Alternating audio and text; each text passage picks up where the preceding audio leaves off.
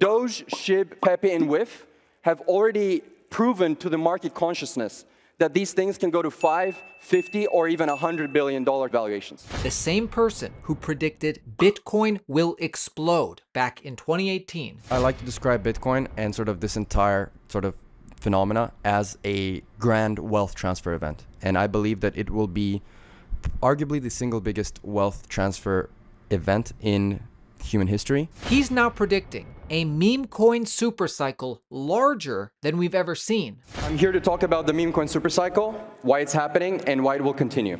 The meme coin supercycle is not just a prediction about the future.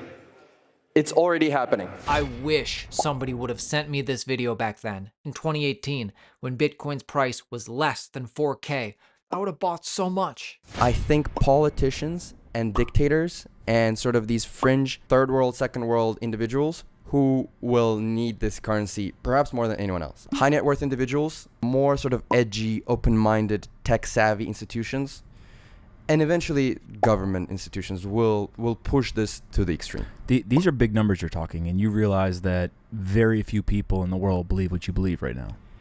I realize that. I like to joke that essentially the people and the institutions who Bitcoin was designed to destroy will be precisely the people who will drive Bitcoin's price and Bitcoin success to the sky. Now he's predicting meme coins are the next big bet. If you study past cycles, the things that outperform in the first half of the cycle is the same thing that outperforms in the second half of the cycle. We've seen this with Ethereum. It pumped in 2016, it, it pumped twice more in 2017. Verge, pump in 2016, pumped twice more in 2017. Solana, pumped in 2020, pumped twice more in 2021.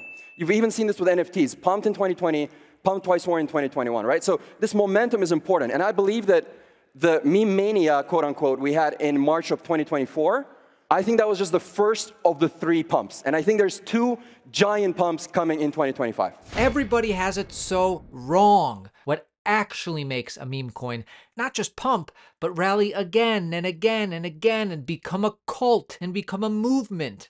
Murad has finally shared the secret formula that he uses to catch the next explosive meme coin. These are the factors that I believe actually matter to catch the next outperformer. Community, poor people getting rich, perceived maximum upside, token distribution, attention, fairness, organic price discovery, eliminating class warfare and bitterness within the token holders, no unlocks, no supply overhang, focusing on new coins which can enter price discovery and avoiding old coins which have bagholders. Price action, obviously, positive momentum, evangelism and community participation. Where can you buy it? Authenticity, holder growth rates, no VCs and VCs having to buy at market, no cabal and cabal having to buy at market, who the whales are, who the KOLs are, who's talking about this on social media. Obviously, the concept and the meme itself, the message, decentralization of all kinds, cultiness, people not selling, emotion, a good story. It needs to be a good narrative, a freshness of the narrative.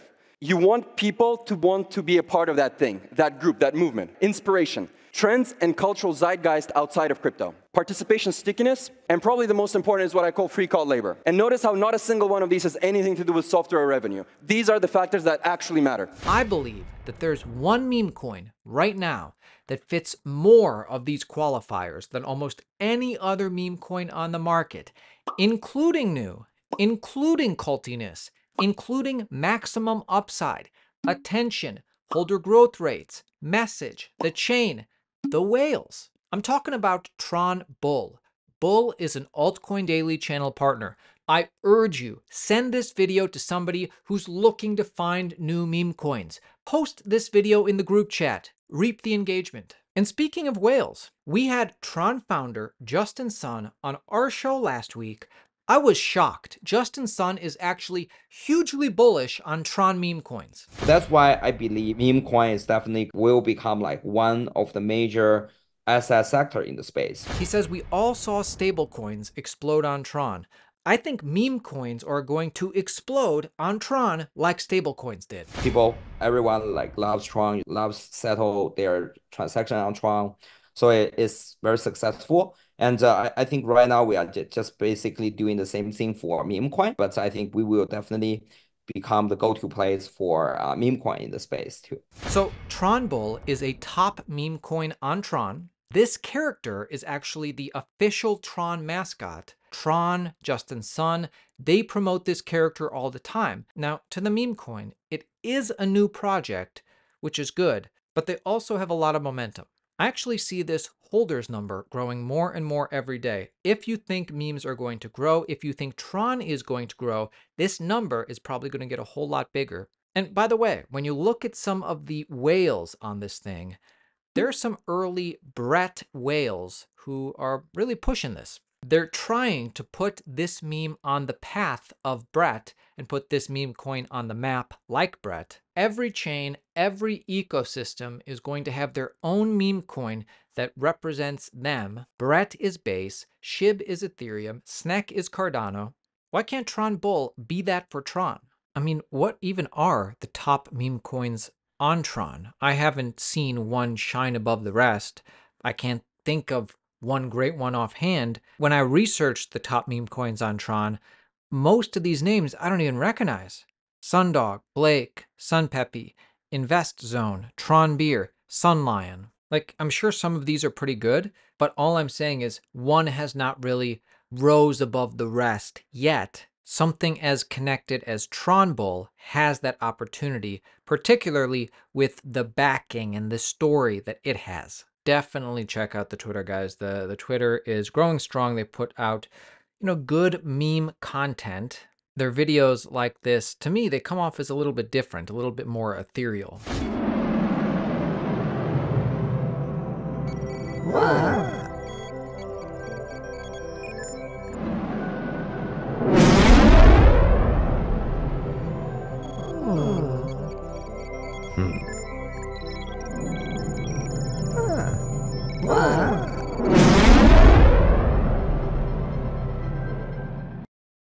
And it just seems like they have a lot of people posting about them and they are posting a lot of stuff themselves. Almost 7,000 community members in their Telegram. I would think if you participated in the Telegram, you would actually, could actually get interactions from the leadership and be part of a growing community. Process to acquire this is simple. You get the Tron wallet, you link it up to the DEX, which is SunSwap, or also there's available options here hey, save this video and you tell me in the future if this meme coin turns into anything. Is Bitcoin even having a future in the future? You tell me.